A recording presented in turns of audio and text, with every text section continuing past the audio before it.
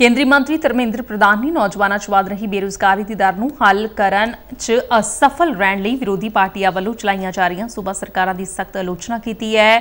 Periodic labour force survey 2023-24 ਦੀ ਤਾਜ਼ਾ ਅੰਕੜਿਆਂ ਦਾ ਹਵਾਲਾ ਦਿੰਦੇ ਹੋਏ ਪ੍ਰਧਾਨ ਨੇ ਵਿਰੋਧੀ ਪਾਰਟੀਆਂ ਦੀ ਅਗਵਾਈ ਵਾਲੇ ਸੂਬਿਆਂ 'ਚ ਰੁਜ਼ਗਾਰ ਸਿਰਜਣ 'ਚ ਅਸਮਾਨਤਾਵਾਂ ਨੂੰ ਉਜਾਗਰ ਕੀਤਾ ਹੈ।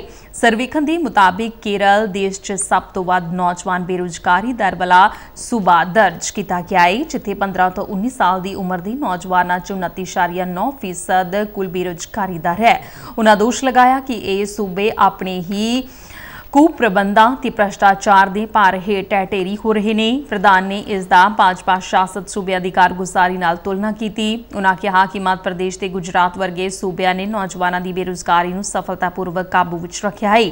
ਉਹਨਾਂ ਅੱਗੇ ਕਿਹਾ ਕਿ ਇਹ ਸੂਬੇ ਲੰਬੇ ਸਮੇਂ ਲਈ ਰੁਜ਼ਗਾਰ ਸਿਰਜਣ ਤੇ ਠੋਸ ਵਿੱਤੀ ਨੀਤੀਆਂ ਤੇ ਧਿਆਨ ਕੇਂਦਰਿਤ ਕਰ ਰਹੇ ਨੇ।